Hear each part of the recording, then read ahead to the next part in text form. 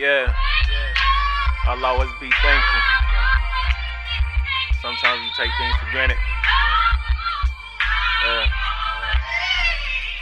I'm blessed.